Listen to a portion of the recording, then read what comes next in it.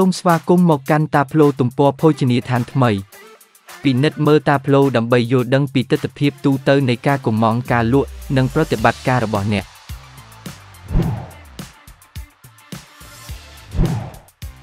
សេចក្តីសង្ខេបអាជីវកម្មគឺជាការសង្ខេបតួលេខនៃការលក់បច្ចុប្បន្ននិងតួលេខនៃការលក់ពីមុនរបស់អ្នកនៅហាងទាំងអស់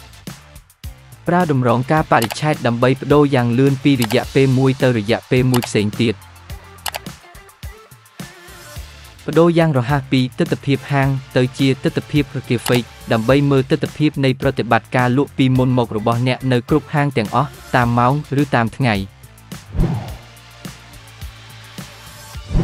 ជំរឿស Monitor Live ជួយក្នុងការតាមដានពេលវេលាពិតប្រាកដនៃការកុម្ម៉ង់ដែលបានលុបចោលរយៈពេលដែលហាងនៅក្រៅបណ្ដាញការកុម្ម៉ង់ដែលពន្យាពេលនិងការវិតម្លៃចំណាត់ថ្នាក់កាយមួយដែលចូលមកភ្លាមទាំងអស់នេះគឺកើតឡើងក្នុងពេលវេលាជាក់ស្ដែងតែម្ដង។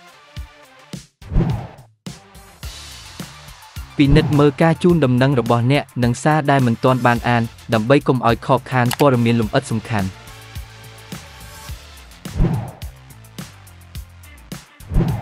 តាមដានការវិវត្តប្រចាំសប្តាហ៍របស់ហាងអ្នកវាស់ស្ទង់សុខភាពប្រតិបត្តិការនិងកំណត់តំបន់សម្រាប់ការកែលម្អ